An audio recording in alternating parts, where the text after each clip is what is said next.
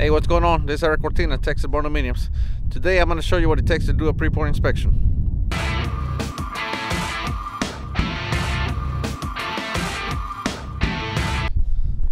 So this right here is the air conditioner pad.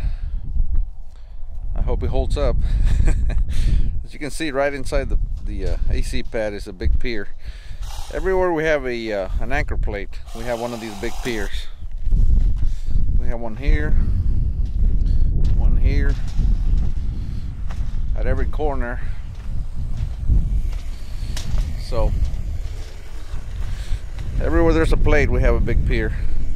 We also have support beams on the interior, as you can tell.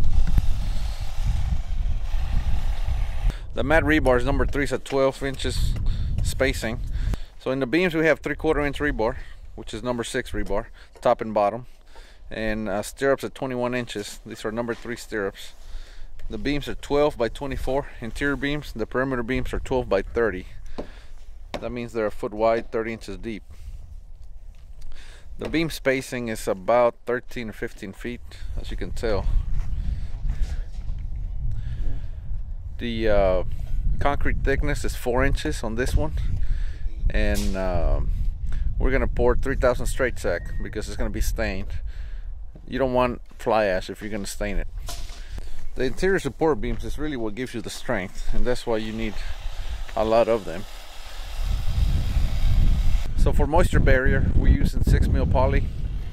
That's gonna give us the uh, moisture protection that we need for the foundation. Let me show you what this barndominium is to look like kind of give you an idea. This everything inside the headers so everything in here is the living area living quarters uh, these right here are the headers these forms right here. The headers are forms that are inside the main forms. The reason we have headers is because this level right here the foundation is going to be higher than this foundation. This one's going to be inch and a half higher than this one and this one because it's an outdoor porch it's going to slope away from the uh, living quarters. So I don't know if you can see the slope. You should be able to see it slope away.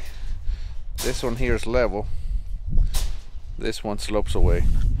We uh, then have a sidewalk that goes from the uh, carport which is where I'm standing. This is the carport. You're gonna be able to go right over to the uh, front porch. So that way when you park here you're gonna be able to walk right over from the sidewalk go over to the front porch. Uh, the carport here also slopes away from the house. And it's also going to have an inch and a half drop right there where that header is. So you see the sawdust right there? Inspector will not pass the inspection if we have sawdust or any kind of trash on the foundation. So I'm gonna get these guys to clean it up right quick. Also pick up any paper any bottles in the beams. This thing needs to be ready to go clean. The reason we can't have anything in the beams trash or anything it, it can create voids air pockets and obviously that's not a good thing. So that's another thing the uh, inspector is going to be checking for. So we're waiting for the inspector. That should be here in about 30 minutes. The next thing is the plumbers. They're going to be here tomorrow and the electricians. We still need to run all over water lines all, all over supply lines. So everything you see here is drain lines.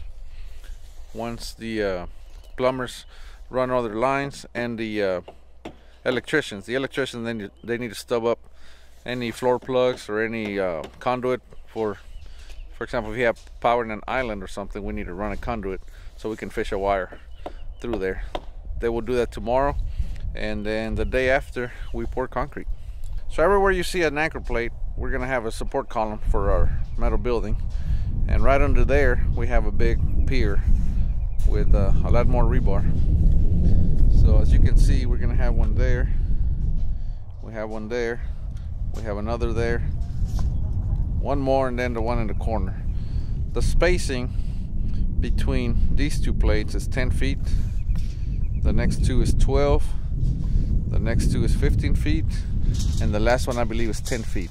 We try to keep our bay spacing around 15 feet. Sometimes we go a foot over or so which is okay. But we try to keep them pretty pretty short. Because again this is a barn barndominium so we want them to be as strong as possible. Uh, typical bay spacing on a metal building is 20 feet. It's okay for a metal building but we don't feel it's okay for a barn barndominium so that's what we do. Yeah that's for the uh, AC pad. Yeah so we added that as well So you need to make notes of everything we added. Mm -hmm. For what purpose?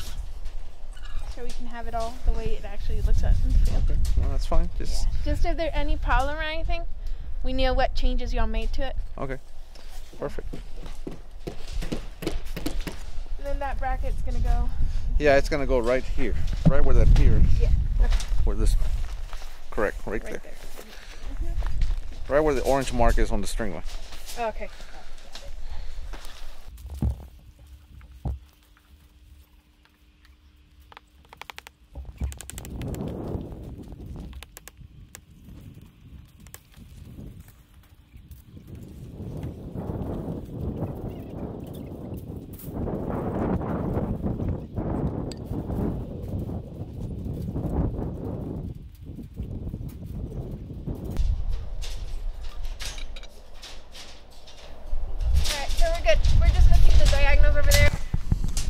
All right so can you give me a real quick summary of what you're actually doing? I mean I know what you're doing but this is for our viewers. Just impromptu little interview. It's all right it's all right it's all good. Um what am I gonna tell you? Just tell me what you're doing. What is a pre-pour inspection? Why are you here today? All right.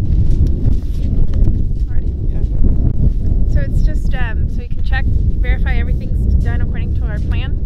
All the uh, dimensions everything that y'all have here we have to make sure that's all the same way it's here. Our steel the pads those are the most important and making sure the steel's right and uh, what else can I tell you? There's no I don't know.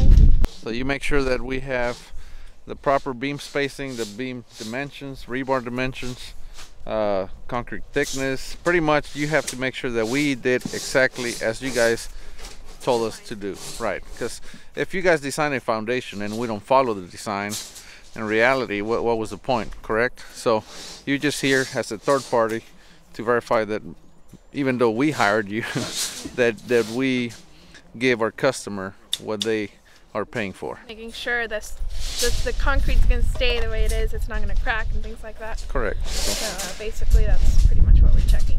Good. This is a metal building so it's a little more steel to it. Yeah to make sure everything's there and yeah well it's a barndominium it's a it's a metal building home is what it is. Yeah. All right well we appreciate it so All we passed. Thank you yay yes. we're good to pour. All right. All righty take care. Drive safe. It's a it's a pretty straightforward inspection. But uh, you know if you did the work correctly they'll pass you and you're good to pour. If you didn't they're gonna fail you. And there's fees attached to that because you know they have to come and do another inspection. And if you had all your concrete and everything lined up finishers then uh, that just means you have to reschedule everything. And uh, it's not a good thing. So anyway make sure you always pass your pre-pour inspection. If you're having a contractor do this for you make sure they provide proof that they passed the inspection because if they don't it's it's useless to have uh, an engineered foundation because without inspection it's not it's not completed yet so. Make sure they provide proof. Once you have proof then all is good. All right well there you have it. We passed the inspection. Here is the uh, the signed form that says we're okay to pour. So now we need to schedule the uh, plumber so they can run their water lines the electrician so they can run their uh, floor plugs and their conduit and uh, they also need to ground the foundation. Uh, we need to schedule the pump and uh, we're gonna pour this thing. All right see you next week. We are Texas Barndominiums